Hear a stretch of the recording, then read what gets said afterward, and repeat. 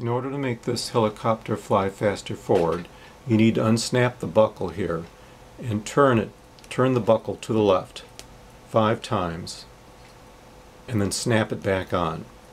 If you want to make it fly faster, give it more than five turns. If you want to make it fly slower, give it fewer than five turns.